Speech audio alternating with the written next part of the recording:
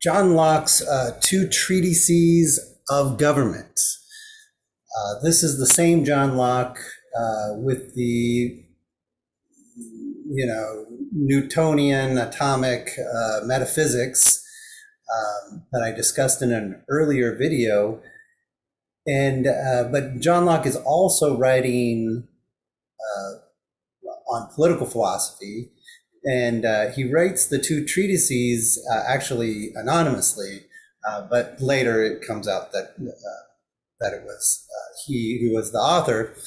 Um, and so we get some very interesting ideas in the two treatises. And uh, now, uh, this uh, these were published in 1689 uh, at the end of 1689. So this is just about a, a year after the Glorious Revolution of November of 1688, uh, when William of Orange crossed, uh, you know, the Channel and uh, took over the crown of England, and from that point forward, we get the sustained uh, uh, parliamentary monarchy that exists in England even to this day. Um, and so John Locke is writing in the wake of that glorious revolution and right at the beginning of the institution of, of parliamentary uh, monarchy. And to a large extent, uh, the two treatises are directed at, at, at, promoting a kind of republicanism that actually fits well with uh, the historical development of parliamentary monarchy uh, in England. And uh, so the, the first treatise is a sustained attack against uh, Sir Robert Filmer.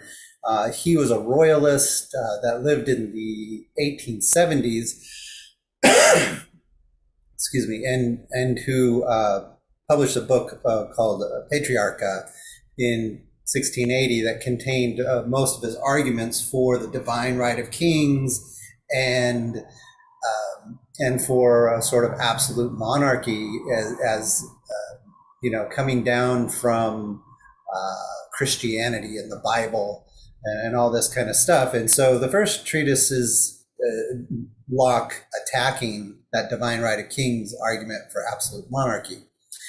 Uh, so it's anti-royalist.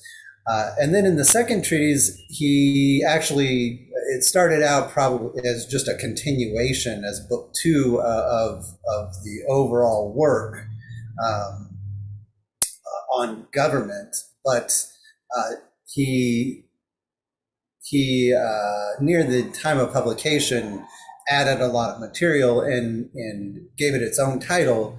So the second treatise is uh, an essay concerning the true original extent and end of civil government. And here, end is like the end, like the final cause, like Aristotelian final cause. Uh, what is the purpose of civil government? Okay. And in the second treatise, and this is what we want to focus on, um, Locke develops his own arguments for Republican style government uh, based in natural law. So this is a natural law type argument uh, but it's a natural law argument that's very empiricist, not Aristotelian in outlook, um, which fits, you know, with Locke's metaphysics. Um, and I wouldn't say that the metaphysics uh, is overbearing uh, in his political work, but it, it's certainly in the style and some of the fundamental assumptions that he makes. It is present.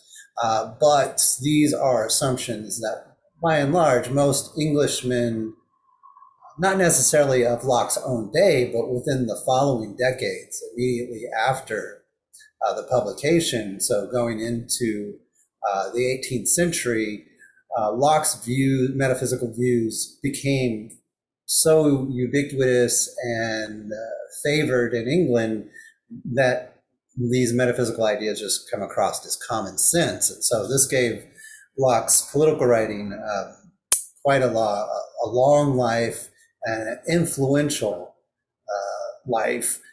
Um, and, and, you know, he does develop a unique theory of government here, unique theories on sovereignty, on property, and this whole labor theory of property, which then is also a labor theory of value, which is very significant for uh, Marxism.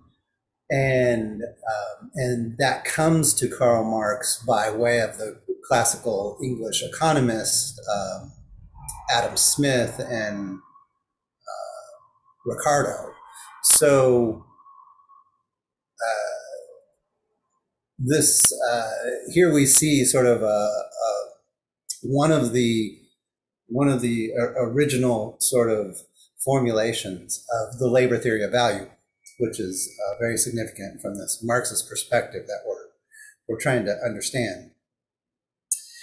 Um, okay, so I think that's good. We're going to focus on the second treatise, and and I want to look at uh, chapter five of property, where he develops this idea of property, and then chapter seven of political or civil society, and in both of these chapters, we get this uh, life, liberty, and the pursuit of happiness type of formulation, but he gives it in, in three different ways um, in chapter 7 and chapter 11. Uh, so I want to take a look at that because that, of course, uh, shows up in the Declaration of Independence for the United States. And, um, and that's part of Locke's political philosophy, the influence of his political philosophy is that it actually is embedded in the Declaration of Independence and uh, informs a lot of the United States Constitution. All right, so um, I'll leave it at that, and I'll see you in the next in the next video.